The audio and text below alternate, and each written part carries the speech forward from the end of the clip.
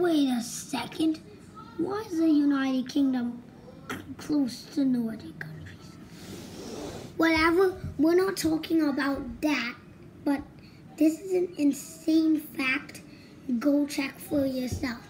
Did you know that Elizabeth II is actually not the longest reigning monarch in the world?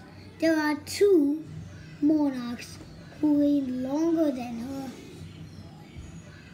I think one of them must have been in Cameroon or something like that.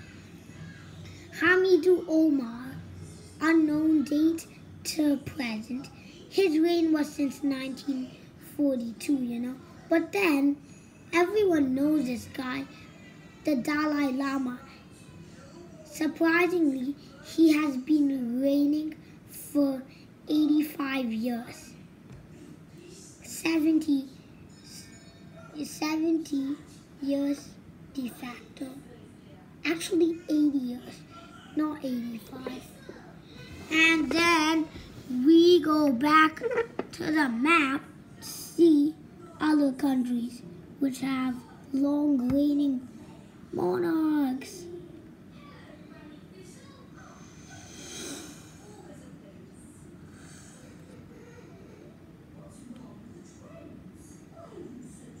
Egypt is here.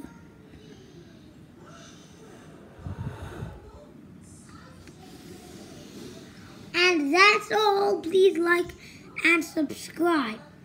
Go Google this fact for yourself. Oh no, if they say wrong, go check Wikipedia and see list of Dalai Lamas and then you'll see how long he's reigning.